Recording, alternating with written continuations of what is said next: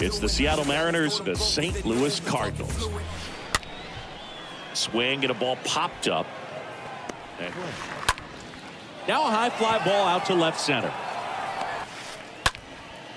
Swing and a pop up. Donovan settles underneath it. To the right side. Toss. This ball's chopped on the ground. Suarez picks it up, gets it to first in the game. Up the middle. Crawford picks it up. Just mowing him down. He's settling in. You got to make him uncomfortable. Maybe step out of the box. Swing and a ball lifted left field. Kelenic drifts towards it. A fastball out of the hand and then just drops over that inside part of the plate. O'Neill under it. Lined, and that's a base hit. On the ground to first. To Crawford for one. On to first, double play. There's a swing and a drive. That one back. And out of here. Every pitch needs to have a Swing. That's ripped. Base hit. Off to a good start with a leadoff knock. That's the third. On to first. We'll see what kind of adjustments are being made. Rips that one center field. And that's a base hit. That's a base hit. Ah, look out. To that pitch down in the zone. So perhaps he'll come back.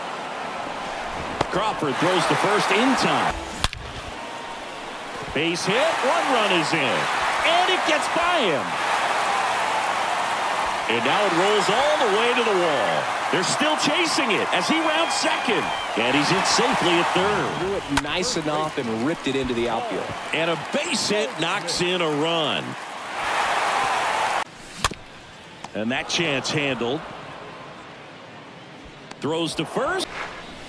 Oh, now this one's high and deep. Way back there. On its way. Gone.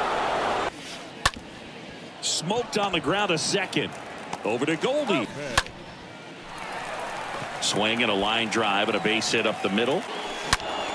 That one drilled left field. And it's gone. Albert Pujols goes deep. And there's ball four. That's a laser base hit. And you can see the crowd. They're starting. On the ground right side. France over to second. And it's a double play. Good plate appearance. Look out. Jordan Hicks will take over here.